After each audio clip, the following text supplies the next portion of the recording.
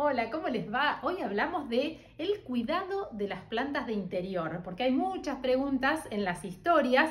Pueden ir a hacer más preguntas, las vamos a ir respondiendo y sobre todo porque quedan guardadas en destacadas, así pueden ver las respuestas todas las veces que lo necesiten. Nos están preguntando si las plantas necesitan fuente de luz.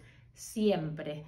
El lugar ideal a un metro, un metro y medio de cualquier fuente de luz, ya sea ventana, algún paño fijo, eso es importantísimo. ¿Por qué? Porque es eh, la vida de las plantas como para que puedan desarrollar. Un secretito que hay veces que las plantas tienden a inclinarse es ir girándolas. Cuando reciben luz de un lado, como estamos viendo en esta, lo que podemos hacer es girar así, o sea, giramos la, la planta, la vamos rotando con, ahora giré la planta, pero rotan toda la maceta una vez por semana o cada 10 días y eso hace que la planta reciba luz pareja y no se vaya hacia un lado. Otro detalle importante es limpiar las hojas. Eso lo tienen que hacer con un paño húmedo. Si juntan agua de lluvia es mejor. El paño tiene que estar siempre húmedo. Apoyan la mano debajo y sin hacer presión para no romper los vasos de la hoja y que de luego se marchite o se machuque. Sin hacer presión, hacemos una limpieza de todo el follaje.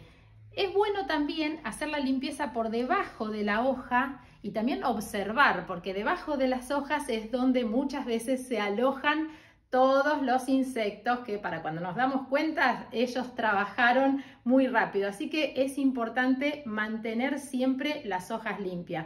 Cada cuánto, todo va a depender de sus ambientes, cuánta pelusa vuela, cuánto abierto está. Entonces, cuando ustedes vean las hojas con un poquitito de pelusa, simplemente pasan un trapo y limpian. Nos preguntan también sobre el riego, pero sobre el riego vamos a hacer uno específico. Lo que sí les puedo decir que todo depende del ambiente que ustedes tengan, el calor que haga en sus casas, eso va a determinar. La observación es nuestra gran aliada, nuestra ayuda. Entonces, ¿cómo hacemos?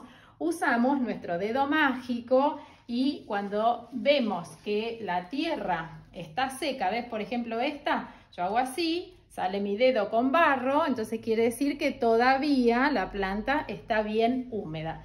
Cada vez que vamos a regar, hay que colocar el agua y dejar que drene y que pase de largo. No dejamos nunca platito debajo porque si eso sucede, el agua se vuelve a absorber y se pudre en las raíces. Entonces traten de llevarla a un lugar donde la planta drene, la pileta, la bañera, la riegan, la dejan un rato y después usan algún platito como para que no manche el piso, pero que no quede el agua acumulada. Y haciendo un resumen de todas estas preguntas que tenemos hoy en la historia es, ¿cuándo me doy cuenta que las plantas se cambian de maceta o cada cuánto cambiarlas? Cuando ustedes ven que la planta, el volumen de la planta superó el tamaño de la maceta, como vemos acá, elegimos una maceta nueva. Eso generalmente suele pasar cada seis meses, una vez al año. Entonces, ¿cómo elijo la maceta que sigue en tamaño?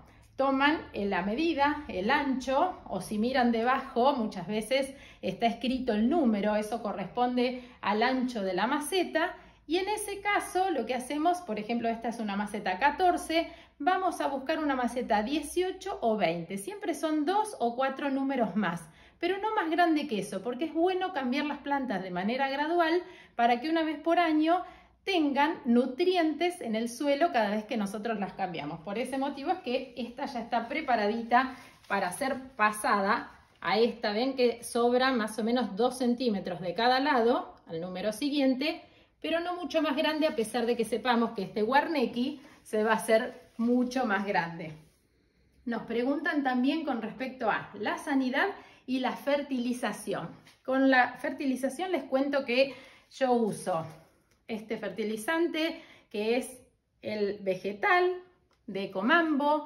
¿Por qué? Porque ayuda a que estén las hojas siempre muy vigorosas, muy verdes, eh, inclusive hasta las puntas. Se aplica una vez por semana, se disuelve en el agua. Preparen lo justo, no preparen de más porque es conveniente preparar cada vez que lo vamos a usar. Y la forma ideal es hacer una pulverización pequeña. Ven que la gotita quede suspendida en la hoja. No hacemos una pulverización que se bañe y derrame, porque si no se desperdicia producto y en realidad no se logra lo que uno quiere. De la misma forma, coloco de manera preventiva cada 15 días el jabón potásico porque eso hace que si hay algún bichito dando vuelta, se controle. Y como este tiene canela y NIM, la canela también es un fungicida natural, así que estoy cubriendo todo lo necesario como para que mi planta realmente esté sana. Espero que les guste, que nos consulten y aquí estamos para responderles.